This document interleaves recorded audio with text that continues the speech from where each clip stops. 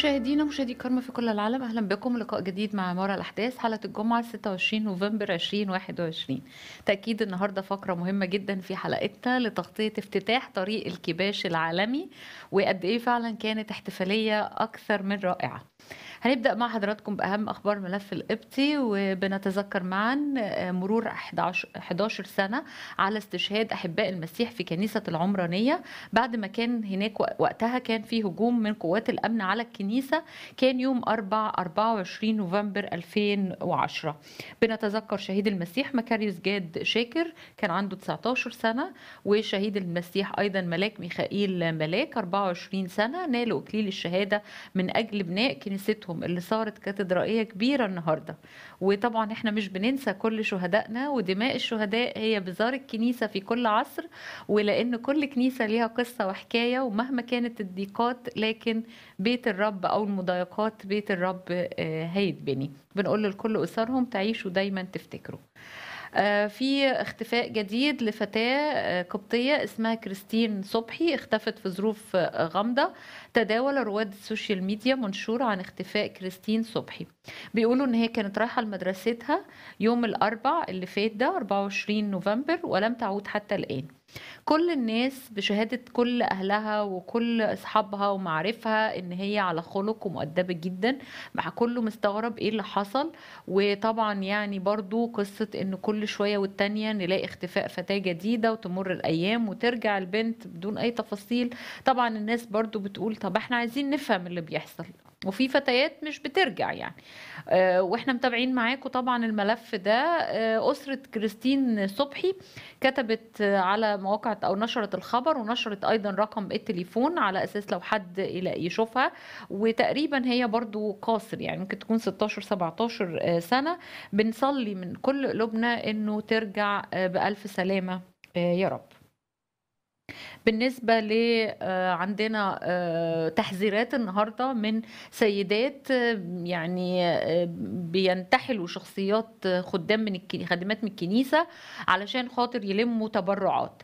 فكان في اتنشرت صورة البطاقة دي لبنت في واحدة بتستغل يعني عاملة البطاقة دي وبتدعي إن هي مسيحية وإن اسمها نورة يوسف عبد الشهيد وقامت بالاتصال بناس من كنيسة العذراء مريم في الفجالة وبتقول إن هي في أزمة وإن هي أرملة وابنه ابنها عنده 10 سنين ومات بميكروب الدم وإن هي محتاجة المبلغ 840 جنيه.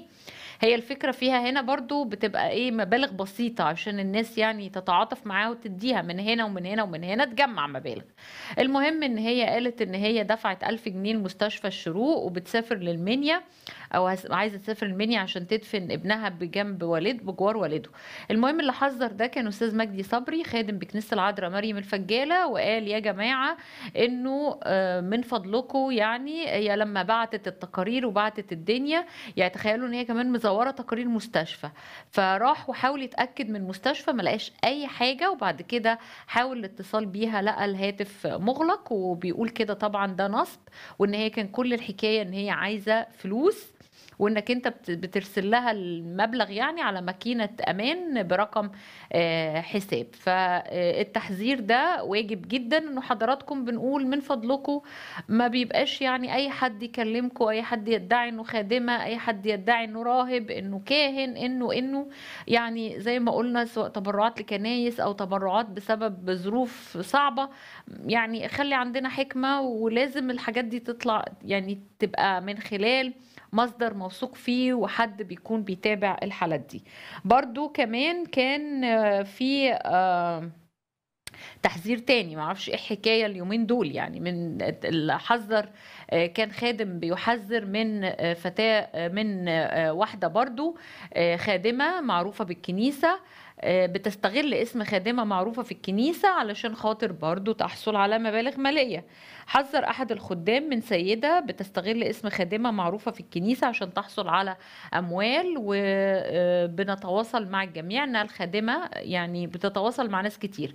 اسمها حنان جميل اللي اتكشفت الحقيقة الدنيا وأنه الصفحة اللي قدام قدامكم دي آه، بيقول إن هو خادم من الكنيسة قال إنها اتواصلت معاه وطلبت مساعدة فأخد بياناتها واتكلم مع الكاهن الكاهن قال له إن هيرجع لتصوني حنان ويفهم منها لأن الأسرة دي الكنيسه متكفلة بكل احتياجاتها.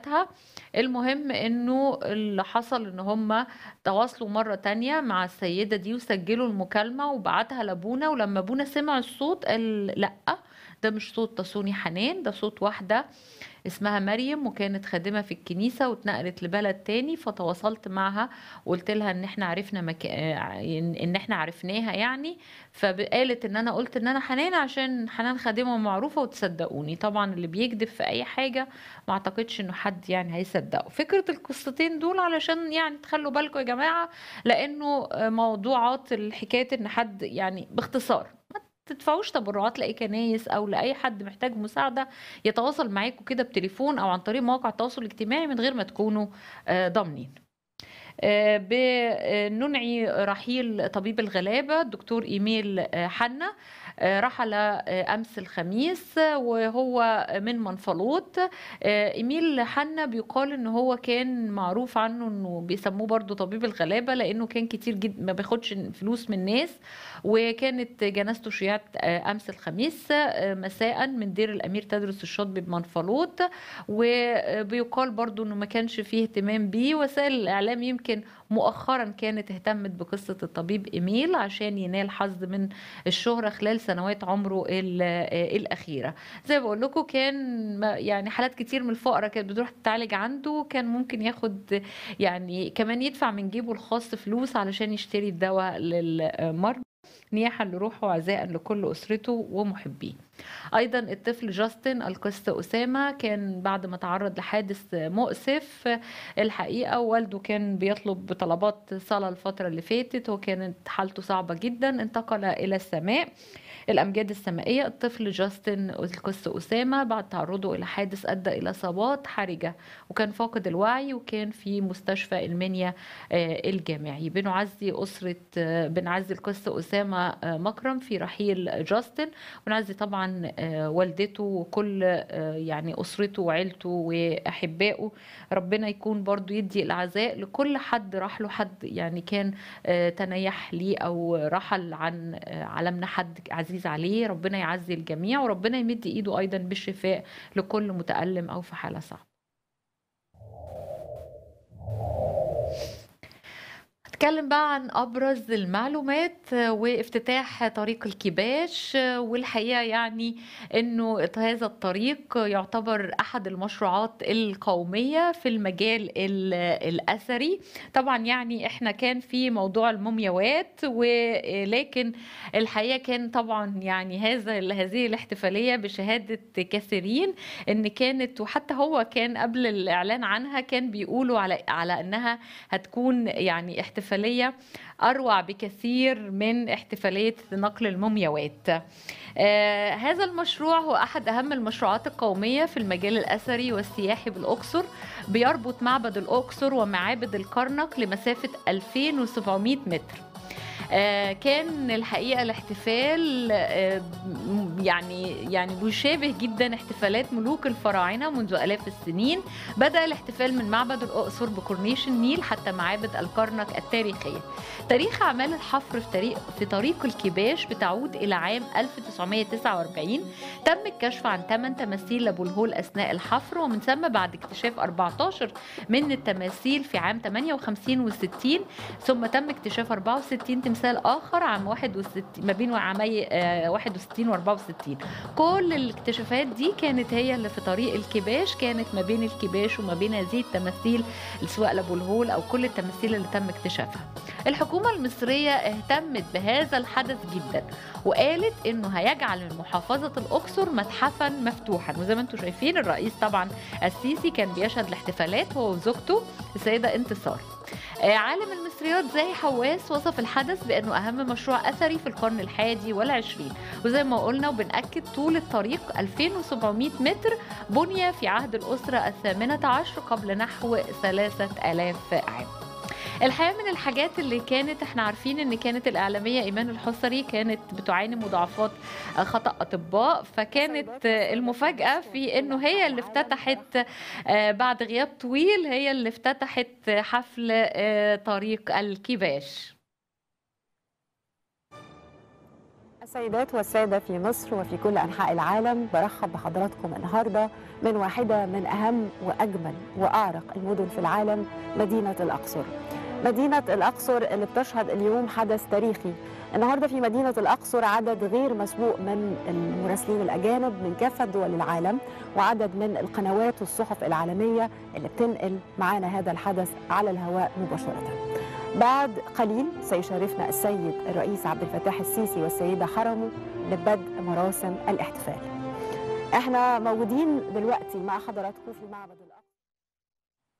زي ما شفتوا طبعًا كانت بتحاول تسرد أهم الفقرات اللي هتكون في الاحتفال، بعدها كان الحقيقة إن ط طريقة النقل برضه من مذيعة لمذيعة أو لمذيع كانت جميلة جدًا، توزيعتهم كل حاجات حلوة أوي، كانت بعد إيمان الحصري كانت ندى آآ رضا بتستعرض كمان تاريخ وادي الملوك بالأقصر.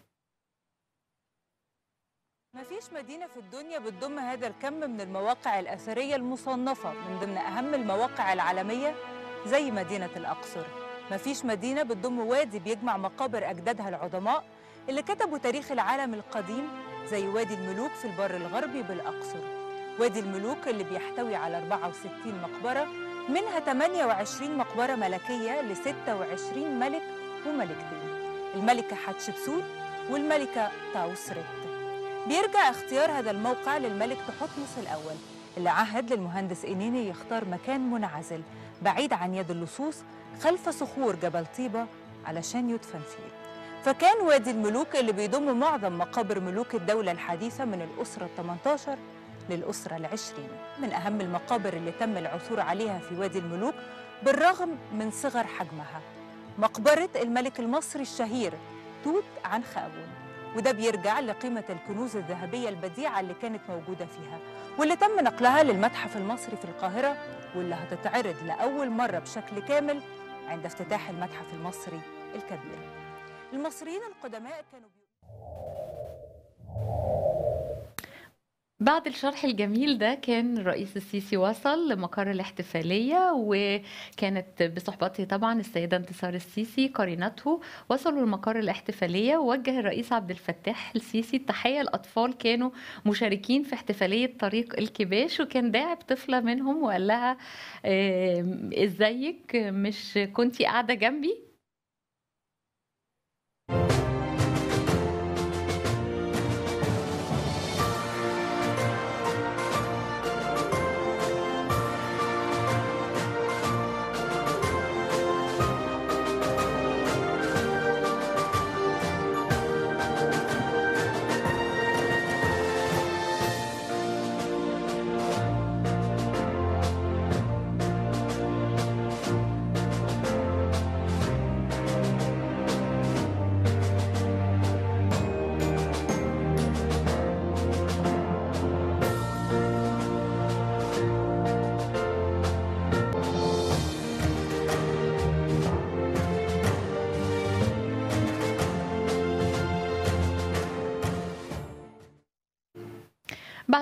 استعرض وزير الآثار أمام الرئيس السيسي تفاصيل احتفالية افتتاح طريق الكيباش وهو الدكتور طبعا خالد العناني وكان بيشرح اللي مقرر إنه يتم عرضه خلال الدقائق اللي كانت في المتبقية من آه، آه، الحفل.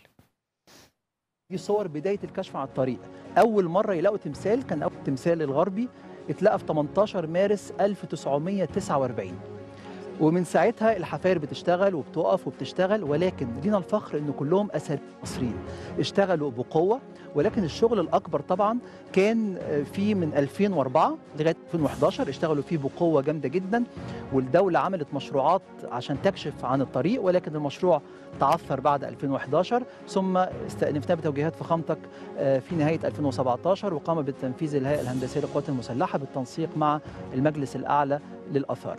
طبعا ده هيكون إضافة كبيرة وهنا بيصح لفظ إن الأقصر أصبحت النهارده متحف مكشوف مفتوح للعالم. الطريق ده بيربط الكرنك شمالا بمعبد الأقصر جنوبا الكرنك هي مجموعة معابد وهنا معبد الأقصر. اتفضل يا فندم.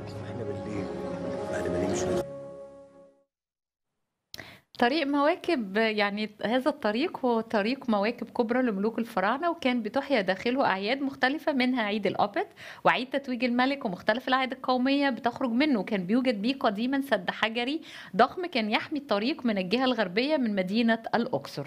بعد هذه الجولة أو هذا الشرح من خالد العناني الرئيس السيسي كان تم النقل على منال أبو الدهب آه، أو يعني التقى الرئيس السيسي بمنال أبو الدهب وهي واحدة من المرممات مرممة شابة كانت عملت في ترميم صالة الأعمدة الكبرى بمعابد الكرنك وشكرت الرئيس السيسي على الدعم الكبير اللي بيوليه لملف السياحة والآثار والشباب والمرممين.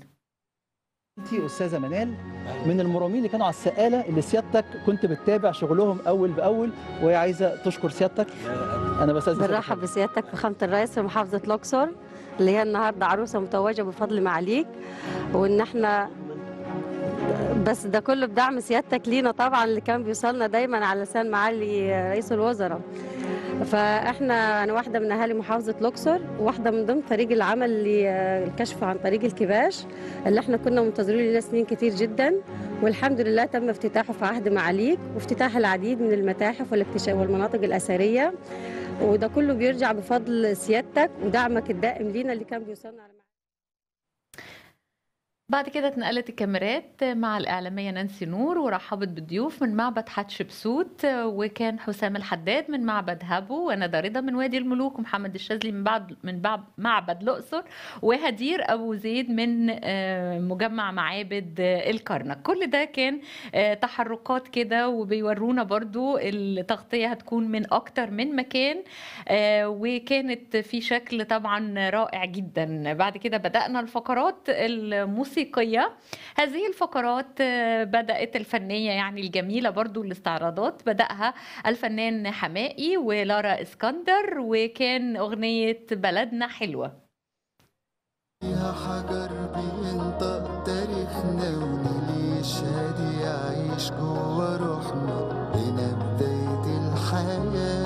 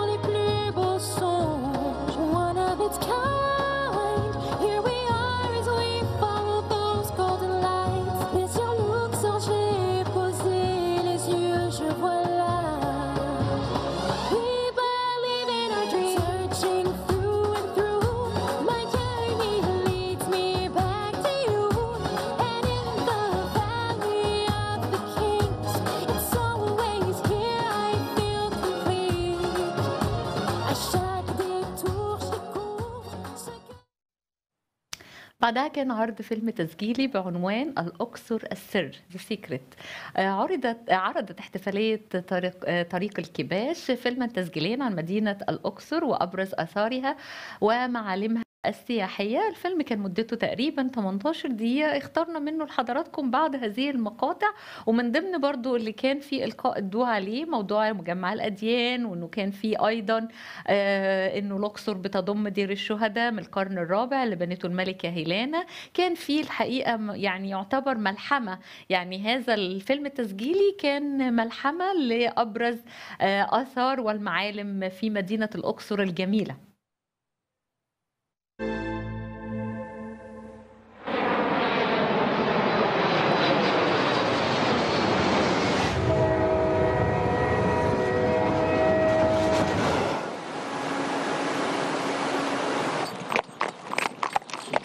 أي سايح ما جاش الاقصر ولا ركب الحنطور واتحنطر من ضمن ما يعيش ولا يوم. في أكيد سر في الأقصر. إيه سر الاقصر بقى؟ فيها سر عجيب بيجذب الناس. فيها أكبر إرث حضاري وثقافي للبشرية جمعاء عندنا الشمس والخضرة. ومين لوحديه سر؟ جوها جميل والطبيعة بتاعتها حلوة. الأقصر هي أيقونة الحضارة المصرية القديمة. هي المكان اللي واضح جدا فيه كل مقومات الحضارة المصرية.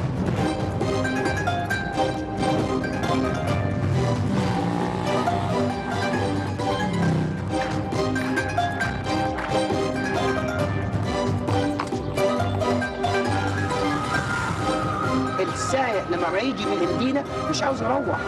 ما يغسل همومه تحسوا براحة نفسية هنا. كفاية كرم ناس ناس أكيد.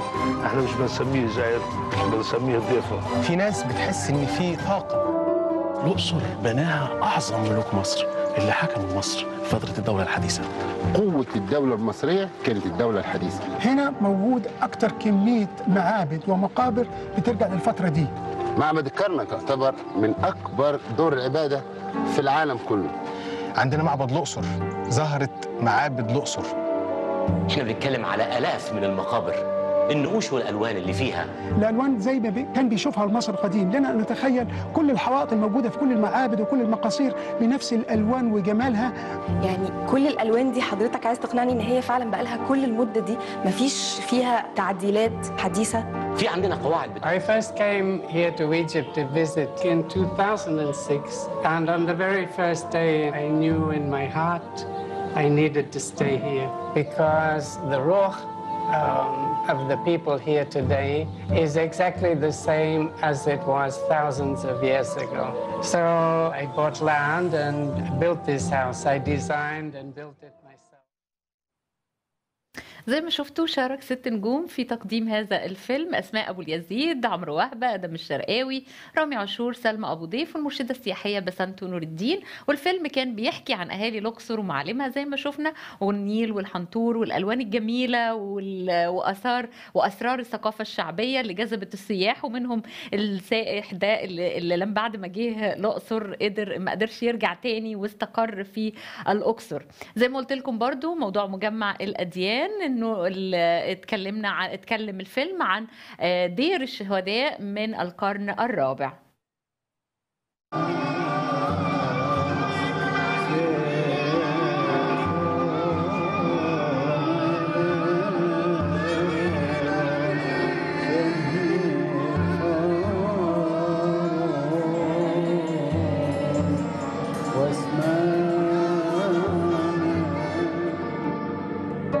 ده دير من القرن الرابع بنته الملكة هيلانا على أجساد الشهداء وبيحكي تاريخ آبائنا وأجدادنا وتاريخ إسنا بالذات. عشان كده الأقصر متفردة عن كل دول العالم من خلال هذا الكم العظيم من الآثار. ده يمكن اللي خلى الإنسان المصري القديم اللي عاش هنا امتلك مقومات التفوق وعمل الحضارة اللي إحنا شايفينها لغاية دلوقتي محفوظة اللي إحنا شايفينه بس. تطرق الفيلم أيضا للمراكب النيلية اللي هي واحدة من الأشياء اللي بتتميز بها محافظة الأقصر وكان بيستخدمها القدماء المصريين في الاحتفالي في الاحتفالات. وكانت بتتحط على عربات كارو مربوطة بحبال كان بيجرها 20 رجل زي الطقوس بتشبه الط- الطقوس دي كان يعني عملوا ليها ماتش كده أو شبه ليها في اللي بيحصل في مولد سيدي أبو الحجاج. وتلف. وكانت في مراكب تتحط على عربيات كارو ويرموها بالحبال يمسكوها حوالي 20 راجل 10 من هنا و10 من هنا زي احتفال الفراعنة زمان. هي نفس الطقوس هي موجودة عندنا في مولد أبو الحجاج أربع مراكب ومعروف ارتباط المراكب بمراكب آمون هم الثالوث المقدس لآمون وموت وخنسو بالإضافة إلى المركب الرابع وهي مركب سيدي أبو الحجاج نفسه. أدي محبتي في نبيك براك كمان تطرق أشار الفيلم للمقومات السياحية الكتيرة في مدينة الأقصر زي سياحة البالون الطائر ومن خلال ال ال ال يعني الزيارة دي أو اللي بيستقل البالون الطائر بتكون 45 دقيقة بيستطيع فيها الزائر رؤية شروق أو غروب الشمس والآثار واكتشاف المدينة بأكملها. كان كمان بيتكلموا عن سوق العطارة وال والأمور السياحية والسوق السياحي وإنه دول برضو من معالم المدينة المهمة جدا وفرصة للاحتكاك بالأهالي والتعرف والتعرف على العادات والتقاليد في مدينة الأقصر. أفاد الفيلم التسجيلي أيضا بإمكانية أن يستقل الزائر أو السائح الجمال والإحصنة خلال وجوده في مدينة الأقصر. جت بعد كده رحنا لأغنية أحلى بلاد الدنيا بلادي وأغنية كانت يعني تم إلقائها في آه، يعني في افتتاح الطريق بالظبط إحنا دلوقتي داخلين على مشاهد روعة جدا يعني. ودي كانت أول حاجة الأغنية دي غنتها آه، هند الراوي. بعد كده كانت في كلمة وزير الآثار واتكلم آه، اتكلم بقى الكلمة الرسمية خلال الاحتفالية. وقال الرئيس السيسي إنه آه، قال كده يعني إن الرئيس قال لنا قدموا الأقصر في ثوب في ثوب جديد. اتكلم عن الآثار المصرية الفريدة لا يمكن مقارنتها بالآثار الأخرى في العالم وأشار إلى أن طريق الكباش بيعود تاريخه إلى 3400 عام. عنه دلوقتي. إحنا النهارده بنحتفل بإيه؟ ولو دولة الرئيس يسمح لي أستخدم اللفظ اللي دايما يستخدمه في توجيهاته لينا في اجتماعاته العديدة هو تقديم الأقصر في ثوب جديد. فعلا ولو الحدث الأساسي اليوم هو الانتهاء من مشروع كشف طريق الكباش وهنا مش هعرف أشكر مين ولا مين في هذا الطريق. الطريق ده أول كبش أو آسف أول تمثال تم اكتشافه برأس إنسان كان في بداية أمام معبد الأقصر كان يوم 18 مارس سنة 1949 عن طريق أثري مصري. ومن ساعتها ولمدة أكثر من 70 سنة بطوا لأول مرة من أيام أجدادنا الكرنك بالأقصر عشان الأقصر تستحق لفظ فعلا المتحف المكشوف أو أكبر متحف مفتوح في العالم. فبوجه التحية لكل المسؤولين. أتت زي ما بقول لحضراتكم اللحظة المبهرة وبدأ الموكب الملكي المهيب وبافتتاح طريق الكباش ليبهر العالم بإعادة إحياء عيد الأبت وأنشودة النداء الأول وقدمت الأنشودة شهد عز.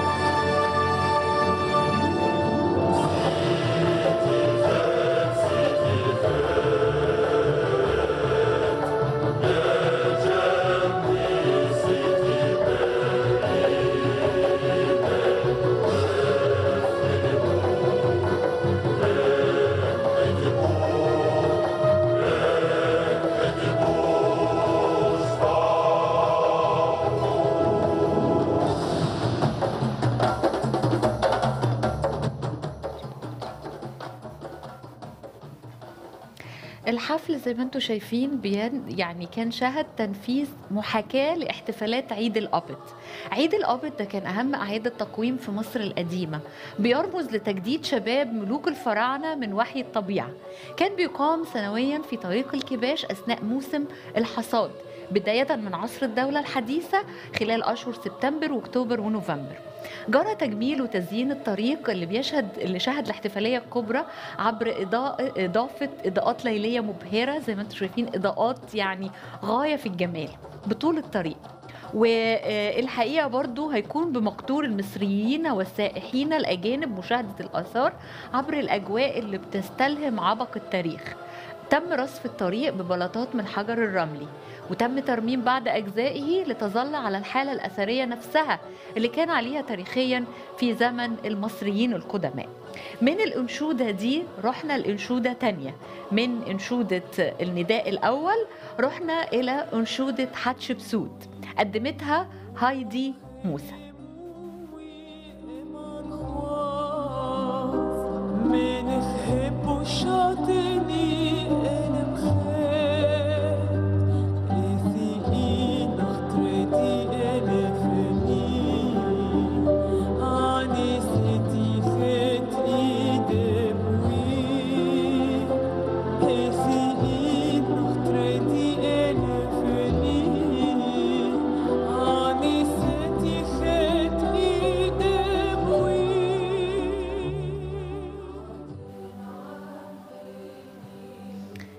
الأنشودة كانت زي ما أنتم شايفين كده الترجمة قدام حضراتكم محتواها بي بيقول أو بتتكلم مع الناس وبتقول أنتوا يلي هتشوفوا آثاري هذه في السنين المقبلة لازم تتحدثوا عما فعلت. احذروا أن أن تقولوا لا نعلم. لماذا؟ قد عمل هذا. إن جبلا صنع كله من الذهب كأي شيء عادي قد حدث وإني أحلف بقدر ما يحبني إله الشمس وبقدر ما يحبني إلهي آمون. وكملت باستعراض جميل جدا جدا الأنشودة وبرضو اتكلمت عن الحياة التاج إله الش...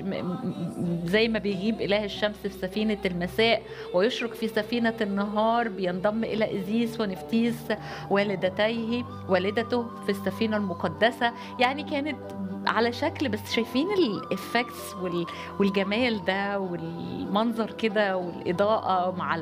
مع يعني إحساس إنه في مية كل دي طبعا يعني كان لعب رهيب بال... بالأضواء مع المياه دي كلها يعني كانت انشودة رائعة جدا. الانشودة الثالثه اللي راحوا لها بعد كده واتنقلوا لها الواحد من كتر جمال المشاهد بصراحة مش عايزة أنقل على المشهد بعديه كان إحنا بنحاول نغطي الدنيا كده بالشكل السريع شوية روح الاحتفالية يعني. انشودة أمون رع وقدموا عز الأسطول وكان آه، بيتكلم آه، برضو عندما تكون بالزورق مهيب المقدمة إنك تبدو جميلا يا أمون رع لأن البلاد كلها في عيد ابنك البكر أول من آه،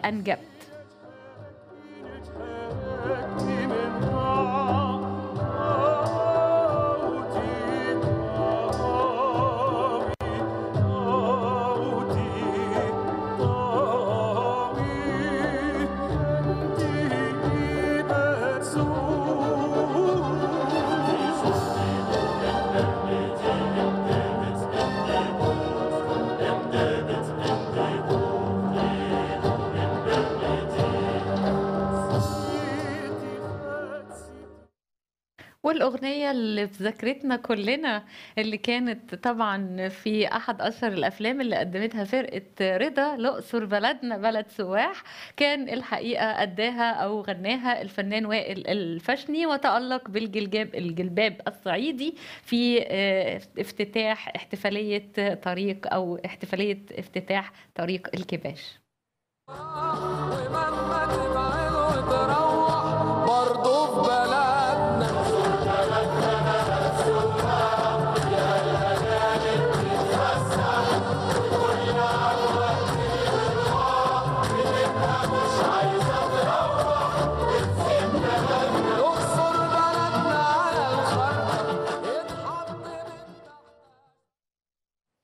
دي كانت للفنان الراحل محمد العزبي وكانت برضو وسط المشاهد من انطلاق موكب طريق الكباش. عشان تشوفوا طريق الكباش قبل وبعد إنه تعرفوا إنه العظمة اللي بتعملها مصر. ده كان طريق الكباش قبل.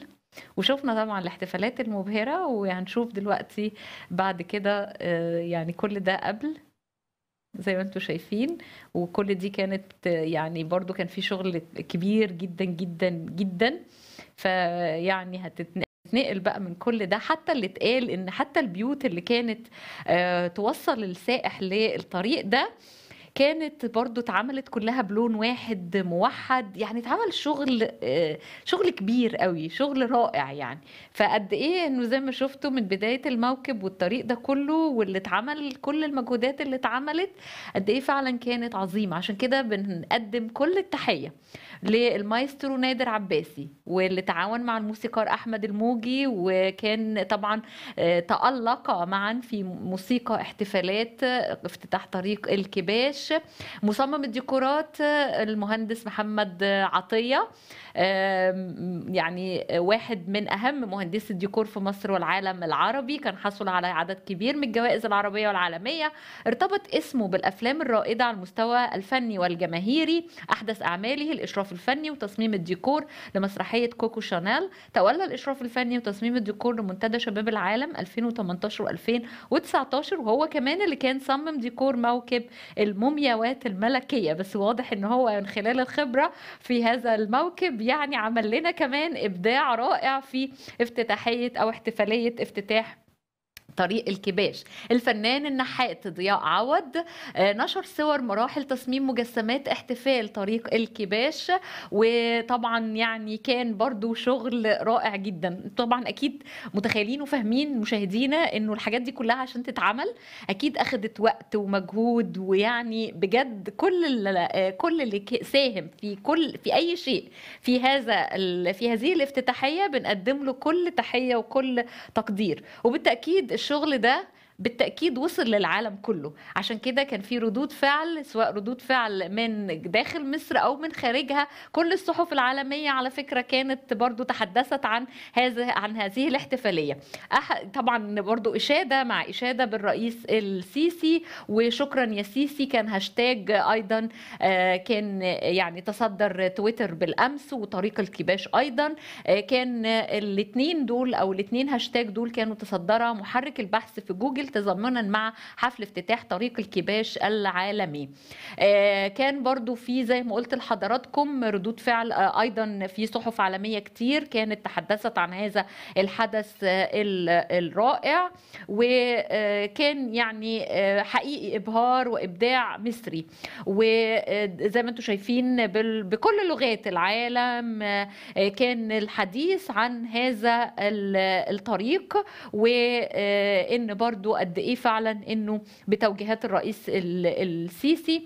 وكان برضو الناس كلهم بقى كان في ناس برضو بتقول إنه يعني سيبكم بقى من الكلام الفاضي اللي كان منتشر اليومين اللي فاتوا والترندات اللي كانت يعني آه، خلافات والحاجات دي كلها. خلينا في المهم. وهنا برضو ده كان آه، محمد كان زي ما أنتم شايفين طريق كباش قبل وبعد. إعجاز إبداع آه، عفوا ده محمد هنيدي أنا آسفة محمد هنيدي. فيعني الكوميديان المعروف طبعا كل الناس على فكرة نشرت يعني كل اتكلم كندا علوش آه، فنانات وفنانين من كل دول العالم. حسين الجسمي ألف مبروك. يا حتة من قلبي على مصر طبعا.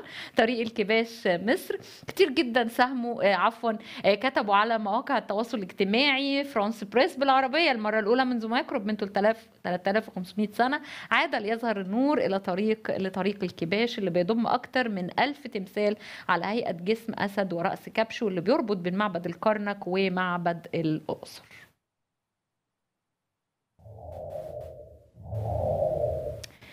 الرئيس السيسي قبل ما يشارك في احتفالية افتتاح طريق الكباش كان زار منزل مواطن بأسوان يجلس على أريكة الصعيدي وكان الحقيقة بتفقد آه، كل ال- الحاجات اللي كانت برضو تضررت في أسوان بسبب الفيضانات الفترة اللي فاتت. التقى الرئيس السيسي أسرة أحد المواطنين استمع منهم الخدمات المقدمة في ظل السيول اللي اجتاحت القرية وخلفت أضرار كبيرة وذلك في إطار حرصه الدائم على لقاء المواطنين. الصور كانت زي ما أنتم شايفين الرئيس مع الأسرة الصعيدية الجميلة دي على أريكة صعيدية وبجواره طفلة صغيرة وكان بيحاورها في لقاء أبوي اعتاد عليه الرئيس السيسي في لقاءاته الجماهيرية.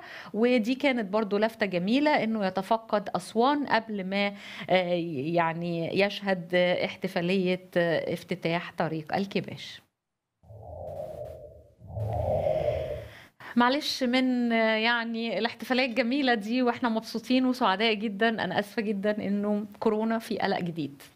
للأسف في متحور جديد هذا المتحور بيقلق العالم كله. آه، بريطانيا وإسرائيل وأمريكا وحتى مصر منذ قليل بدأت تعلن عن حظر السفر من دول أفريقية. المتحور الجديد ده مصدره جنوب أفريقيا والخطورة فيه الحقيقة في صورة يمكن زميلنا تبين لنا الشكل إنه آه، ال- الطفرة اللي كانت إحنا كنا بنتكلم عن سلالة دلتا ودلتا بلس والطفرات اللي حصلت. الطفرات اللي حصلت مع يعني متحور دلتا كان طفرتين بس متحور الجديد عشر طفرات. خلينا نشوف التقرير بيقول لنا إيه عن هذا المتحور اللي بيقلق العالم كله دلوقتي. منظمة الصحة العالمية قالت طبعا آه، في قلق آه لكن هناخد وقت شوية في إن إحنا نحاول ندرس ونشوف آه، انتشاره وسرعته وهل في أعراض جديدة ولا لأ. كل ده هيبان طبعا مع الوقت. واحد 529 هو اسم المتحور الجديد من كوفيد 19 الذي اكتشف في جنوب إفريقيا. متحور قد يكون شديد العدوى يقول العلماء ويحتوي على عدد مرتفع جدا من الطفرات ولديه القدرة على الانتشار بسرعة كبيرة. نرى الكثير من الطفرات في بروتين سبايك مما قد يؤثر على فعالية القضاء على الفيروس. لكننا نرى أيضا طفرات معروفة جدا موجودة في متغيرات أخرى وهو ما يثير قلقنا لأنها قد تزيد من قابلية انتقال الفيروس.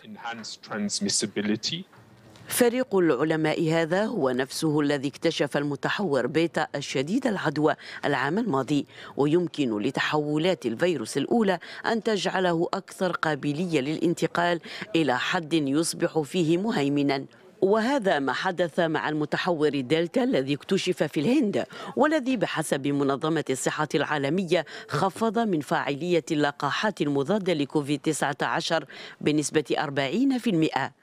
حتى الآن تم الإبلاغ عن 22 إصابة بهذا المتحور الجديد تعود معظمها إلى شباب. كما سجلت إصابات أخرى في بوتسوانا المجاورة وهونغ كونغ لدى شخص عاد من رحلة في جنوب إفريقيا. آه، هو الحقيقة تم إطلاق اسم عشان طبعا الأرقام دي هتبقى صعبة آه، شوية. اسمه أوميكرون. على هذا المتحور الجديد. يعني إحنا عندنا متحور دلوقتي مش هيبقى كلام عن دلتا هيبقى الكلام عن أوميكرون.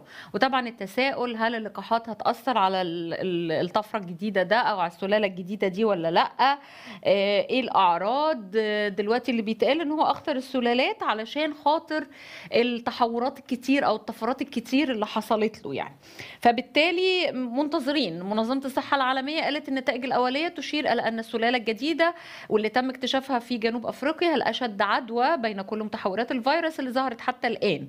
وفي نفس الوقت أنه هذا الأمر يبعث على القلق. يعني وزي ما قلت لكم أطلق عليها الحف... الحر... أطلق على هذا التحور أو السلالة الجديدة أوميكرون. لا يعرف العلماء مدى فعالية اللقاحات المضادة لكوفيد 19 في هذا الوقت إذا كانت هتقدر تسيطر على هذا التحور آه، ولا لأ. الإصابات كانت في إصابات بهذا المتحور في أماكن مختلفة آه، في آه، بوتسوانا في هونغ كونغ. آه، لدى شخص كان عاد من رحلة من جنوب أفريقيا أيضا في بلجيكا. بلجيكا اللي أول دولة أوروبية تم رصد هذا هذه السلالة الجديدة الأوميكرون. الحقيقة الغريب بقى إن هي كانت ظهرت على مسافرة عائدة من مصر. وأول رد مصري بشأن اكتشاف بلجيكا إصابة بمتحور كورونا الإفريقي لمسافر عاد من مصر. تحدث المتحدث باسم وزارة الصحة حسام عبد الغفار قال إن المعلومات المتداولة في هذا الشأن تحتاج إلى توثيق لأنها لم تذكر بشكل رسمي على لسان مسؤول حكومي بل خرجت من عالم فيروسات على تويتر حتى الآن. وكان في تصريحات للمتحدث باسم وزارة الصحة حسام عبد الغفار إنه آه، بيتواصل آه، المكتب الإقليمي لمصر مع منظ- لمنظمة الصحة العالمية آه، يعني بيتواصلوا مع ال- آه، المكتب الإقليمي علشان خاطر يتم إرسال كافة المعلومات الخاصة بالحالة المصابة وتاريخ السفر والتحقق من كونها قادمة من مصر أو مجرد آه، ترانزيت فقط وهل المعلومة ذاتها صحيحة أم لا؟ وإذا كان في مصر فليخبرونا بتفاصيل آه، تواجده وطبعا مصر برضو بتحاول تشوف الدنيا. لكن عموما حظر السفر بقى يا جماعة. إحنا كنا لسه بنحتفل بأن أمريكا فتحت وإنه خلاص دلوقتي آه، موضوع ال- الملقحين والكلام ده كله. المهم دلوقتي بقى بريطانيا أعلنت إنها تمنع المسافرين من ست دول أفريقية من دخول أراضيها بسبب هذا المتحور الأوميكرون. وأعلنت إسرائيل سنغافورة اليابان السعودية قيود على الرحلات الجوية القادمة من جنوب أفريقيا وبعض من الدول الأوروبية. وضع وضعت سبع دول على القائمة الحمراء عاليه الخطورة. جنوب أفريقيا آه، لاستو آه، بوتسوانا زيمبابوي موزمبيق نامبيا وأسوستواني. كل دي دول وضعت سبع دول على القائمة الحمراء. طبعا تأثر السوق العالمي مش بس سوق يعني سوق البورصات وأسواق كثيرة جدا ولكن أسعار النفط انخفضت في يوم واحد إلى أدنى مستوى خلال 18 شهر. ويأتي هذا التراجع مع تزايد المخاوف من سلالة أوميكرون الجديدة. وقد يؤدي هذا الفيروس الجديد إلى مزيد من الركود الاقتصادي العالمي. انخفضت الأسهم بنسبة تتراوح بين 2 و 3% في جميع الأسواق الرئيس الرئيسية مع تضرر شركات الطيران شركات السفر بشكل خاص. يعني دلوقتي هنرجع تاني في أزمة اقتصادية وهي الحكاية أساسا مش ناقصة. أسواق المال في أوروبا سجلت هبوط حاد عند افتتاح الأسواق. متأثرة بكل الأخبار الجديدة عن سلالة أوميكرون اللي جاية من جنوب أفريقيا. تراجع مؤشر آه، كاك كراون الفرنسي آه، تراجعت أيضا الأسواق الأوروبية تراجعت الأسهم في الأسواق الأمريكية. يعني النهاردة سوق الأسهم كان الحقيقة صعب جدا. الصين ألغت مئات الرحلات الجوية أغلقت بعض بعض المدارس علقت أنشطة سياحية كتيرة بعد اكتشاف إصابات بفيروس كوفيد 19 وغالبا برضه هتكون ليها علاقة بالسلالة الجديدة في شنغهاي. تشكل هذه الزيادة في عدد الإصابات ضغطا على الصين عشان هي الدولة المضيفة لدورة ألعاب الأولمبيد الشتوي. أو الشتوية اللي هتنطلق 4 فبراير المقبل. كمان أثرت كل المواضيع دي على الاحتفالات بالنسبة لعيد الميلاد. إحنا فاضل أقل من شهر أهو لاحتفالات عيد الميلاد فواضح كده إن دول هتبتدي تغلق بلجيكا اللي ظهرت فيها أول حالة بدأت تعمل آه، تقلل ساعات ساعات مثلا ال- المطاعم آه، بتقفل حانات. يعني دلوقتي هيبقى في برضو إعلانات كتيرة غير موضوع حظر السفر بالنسبة لموضوع طبعا عشان يتم التعامل مع هذه السلالة الخطيرة الجديدة آه، أوميكرون. الاتحاد الأوروبي بيوصي بأن تكون صلاحية التطعيم ضد كورونا للسفر تسعة أشهر فقط ممكن برضو تتغير تتغير التوصيات دي. آه، كل دي حاجات دلوقتي وأهم حاجة طبعا أنه هيكثف العلماء مجهوداتهم علشان يتم معرفة ما إذا كان آه، اللقاحات أو ما إذا كانت اللقاحات هتؤثر بشكل كبير على الموضوع ده آه، ولا على طبعا هذه السلالة والطفرات الكتيرة اللي بيقال يعني في بعض أنها أكتر من آه، تلات تلا- آه، عفوا 30 آه، 30 آه، طفرة. آه، يعني كان في برضو اكتشاف حلو جديد الفترة اللي فاتت كان ليه علاقة آه، بدواء آه، متطور مضاد الفيروس نقص المناعة المكتسبة الإيدز والحقيقة إنه الكلام عن الإيدز النهارده برضو كان آه، إنه المواطنين يعني مواطنين كتيره وموضوع الإيدز وإن هو منتشر في جنوب أفريقيا وده مشكلة في المناعة ده برضو خلى أو بيقال إنه ساعد على إنه يبقى في إصابات أكتر بالكوفيد وإنه يحصل التحور اللي حصل أو الطفرات اللي حصلت بالنسبة للسلالة الجديدة. يعني بالرغم ده بس كانت كده يعني بعض التعليقات على الموضوع برضو لإنهم بيشوفوا إيه الأسباب اللي خلت يحصل الطفرات الجامدة دي كلها.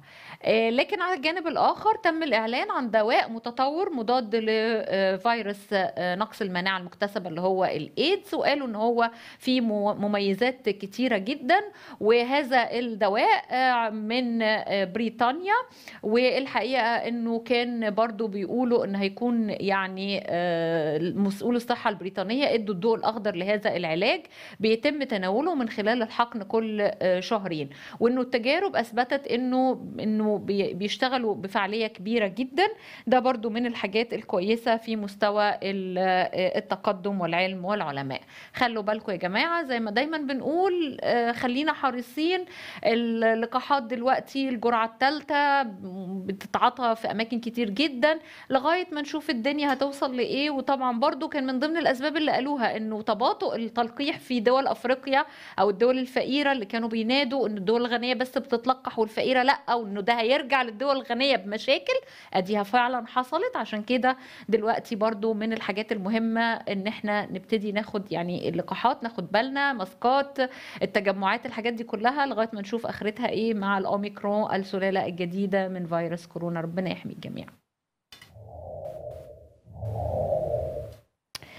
تونس الشرطة تسيطر على مسلح حاول اقتحام وزارة الداخلية. نقلت وكالة رويترز عن شهود عيان في العاصمة التونسية اليوم الجمعة أن هناك استنفار أمني كثيف للشرطة كان أمام مقر وزارة الداخلية فيما تحدثت وسائل إعلام محلية عن تمكن الشرطة من إحباط هجوم إرهابي. وكان في بعض المشاهد اللي كانت لقطت معرفش إذا كان وصل وصل لزميلنا ولا لأ كان نشروا من من فترة بسيطة كده فيديوهات في بعض القنوات بترصد كانت هذا ال- يعني آه، إرهابي وكان اللي هو كان بيحاول إن هو يطلق النار على شاب مدجج بالسلاح الأبيض حاول أن يقتحم مبنى وزارة الداخلية وعندما تصدى رجال الشرطة للشاب أطلقوا عليه النار وأصابوه في إحدى قدميه وبعد كده تمكنوا من السيطرة عليه وسط حالة من الاستنفار وجرى نقل الشاب على الفور لأحد المستشفيات تحت حراسة مشددة فيما لم يتضح بعد الدوافع التي أدت إلى محاولة اقتحام مبنى وزارة الداخلية.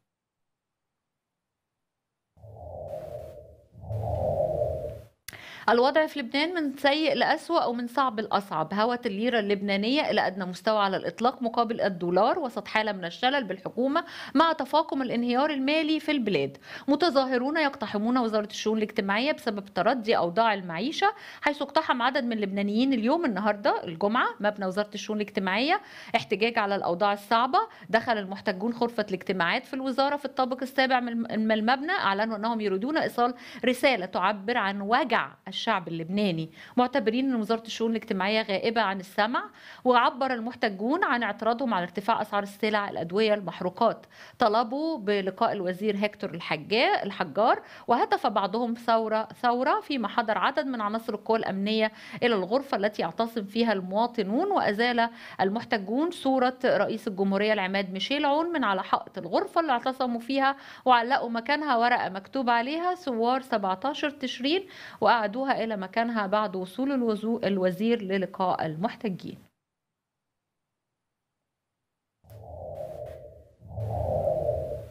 الأردن تظاهرات ضد اتفاقية الطاقة والمياه مع الإمارات وإسرائيل. تظاهر عدد من الأردنيين اليوم في شوارع العاصمة عمان رافضين إعلان النوايا. الموقع أخيرا بين الأردن والإمارات العربية المتحدة وإسرائيل بشأن تبادل الطاقة والمياه بينهما. ردد المحتجون هتافات رافضة لاتفاقية التطبيع من بينها شعار غاز العدو واحتلال.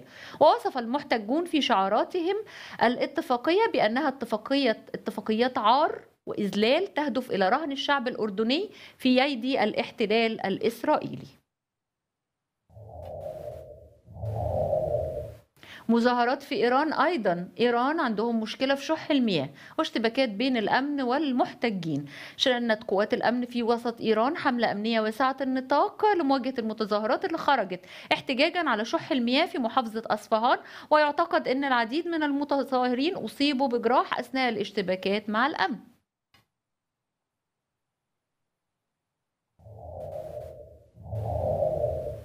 السودان ما زالت هناك مظاهرات محتجين على الاتفاق اللي تم ما بين حمدوك والبرهان. الآلاف يحتجون في شوارع الخرطوم ومدن أخرى ضد هذا الاتفاق. تظاهر الآلاف من المواطنين في شوارع الخرطوم ومدن سودانية أخرى مع استمرار الاحتجاجات على الاتفاق بين قائد الجيش عبد الفتاح البرهان ورئيس الوزراء عبد الله حمدوك. كان في طبعا استعمال لغاز مسيل للدموع ردد المتظاهرون آه، شعار الشعب يريد إسقاط المدين النظام عفوا وكان في آه، أحزاب وتجمع المهنيين السودانيين آه، ولجان المقاومة دعوا إلى خروج تظاهرات احتجاجية مستمرة الفترة اللي جاية للمطالبة بالحكم المدني والإفراج عن المعتقلين السياسيين. وبيقال أنه مرور شهر النهاردة يعني آه، 25 طبعا بال- بالأمس مرور شهر على الإنقلاب العسكري اللي نفذه قائد الجيش الفريق عبد الفتاح البرهان. مجلس السيادة السوداني عين عبد العزيز فتح الرحمن في منصب رئيس القضاء وكان بيقولوا أن الخطوة دي جاءت لاستكمال هياكل السلطة القضائية والحقوقية. من السودان هنروح لأثيوبيا أعلن رئيس الوزراء الأثيوبي عن إحراز القوات الحكومية تقدما ميدانيا كبيرا بينما يفوض رئيس الوزراء الأثيوبي أبي أحمد آه، مهامه لوزير خارجيته وتوجه لقيادات جبهات. لقيادة جبهات القتال قوات تجراي بتح... تزحف من ولايات شمال العاصمة الأثيوبية وبيحاول مقاتلو جبهة تجراي الوصول إلى بلدة مالي بهدف قطع طريق ميناء جيبوتي أديس أبابا. الأمر اللي بيعني إذا ما تم قطع الإمدادات على العاصمة وخنقها اقتصاديا هيبقى ده طبعا آه، يعني هيبقى خلاص كده اقتراب سقوط أديس أبابا. في حين آه، تصطدم مساعي الوسيطين الأمريكي والإفريقي بتصلب في موقفي الحكومة وتحالف جبهة تجراي أعلن رئيس الوزراء ابي أحمد من جبهة القتال عن إحراز القوات الحكومية تقدم ميداني كبير لكن هو بصراحة قال حاجة. منع أي أخبار عشان أخبار في التحركات العسكرية عشان ما توصلش لتجراي وكان آه، بيدين أي مواقع بتنشر أي أخبار ومنهم حتى آه، واشنطن. من آه، مظاهرات أو من أثيوبيا والوضع الصعب هنروح برضو لمظاهرات في العراق. مظاهرات في العراق رافضين النتائج لأنه خلاص بعد الفرز اليدوي وكان طبعا دلوقتي آه، اقترب الموضوع من إنه لقوا إن النتائج بتاعة الفرز اليدوي هي هي النتائج اللي كانت الانتخابات الأولانية وحاول متظاهرون رافضون نتائج الانتخابات إسقاط حواجز أمام المنطقة الخضراء. وطبعا كان برضو القوات الأمنية أغلقت جسري السنك والجمهورية المؤديان إلى المنطقة الخضراء.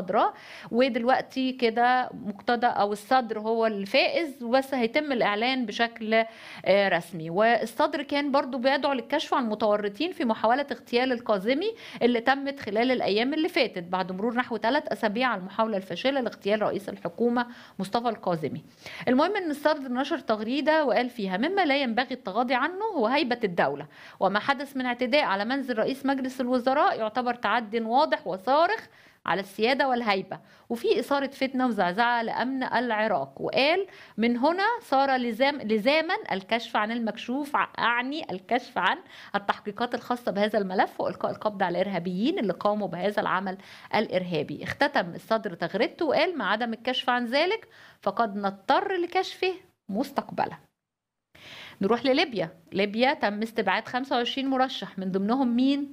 سيف الإسلام. تم استبعاد سيف الإسلام بشكل رسمي بس الحاجة التانية كمان إن حق محكمة حكمت على حفتر اللي هو مرشح في الانتخابات بالإعدام. هل ده هيخليه برضو يبتدي إن المفوضية تستبعد خليفة حفتر برضو من الانتخابات الليبية ولا لأ؟ إحنا الانتخابات المفروض في 24 ديسمبر. هنتابع معاكم الدنيا وهنشوف برضو إيه اللي هيحصل في الفترة آه، اللي جاية. وفي طعون طبعا يعني هو دلوقتي سيف الإسلام و25 من ضمن 25 واحد تم استبعادهم.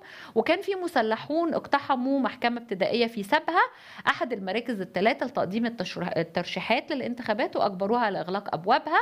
ومحامي سيف الإسلام هيروحوا يعملوا دلوقتي آه، طعون. آه، القضاء التركي يقرر يقرر إبقاء رجل الأعمال والناشط التركي عثمان كافالا في السجن بالرغم من إنه حقوق إنسان كتير وناس كتير اعترضوا على الموضوع ده. وفاكرين لما كان في سحبت تركيا آه، سفراء كذا دولة أوروبية وقالوا لهم ما تتدخلوش في شؤوننا فدلوقتي هم أقروا بإن هو هيفضل في السجن. قبل ثلاثة أيام من استئناف المحادثات النووية في فيينا وزير الخارجية الإيراني حسين أمير عبد اللهيان قال إن بلاده تريد رفع جميع العقوبات المفروضة على إيران وهو ده الشرط علشان يتم عودة الولايات المتحدة الأمريكية للاتفاق النووي الإيراني. ومنشأة منشأة الطاقة أو منظمة الطاقة الذرية الإيرانية كانت بتقول منشأة كارج تستخدم لتصنيع أجهزة الطرد المركزي المتطورة. بشكركم مشاهدينا على متابعتنا النهاردة وأكيد هيكون معانا الأحداث أحداث أخرى ومزيد من الأحداث إن شاء الله الحلقة الجاية في الأسبوع الجاي. إلى اللقاء.